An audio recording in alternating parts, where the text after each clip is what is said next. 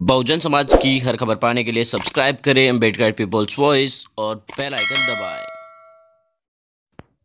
Bhim army के chief Chandrashekhar Azad के द्वारा नए राजनीतिक दल का आज ऐलान कर दिया गया है। आपको बता दें कि इस मौके पर अंबेडकर पीपल्स वॉइस की खबर पर एक बार फिर से मुहर लगी। आपको बता दें कि बहुजन समाज में सबसे तेज उभरते हुए संगठन भीम आर्मी ने अपनी नई राजनीतिक पार्टी का ऐलान कर दिया है। साथ ही आपको बता दें कि नीले कलर का व्हाइट पट्टी के साथ अपना झंडा भी जारी कर दिया है। नोएडा के पास एक कार्यक्रम के अंदर भीम आर्मी के चीफ चंद्रशेखर आज़ाद ने अपनी नई पार्टी की शुरुआत की।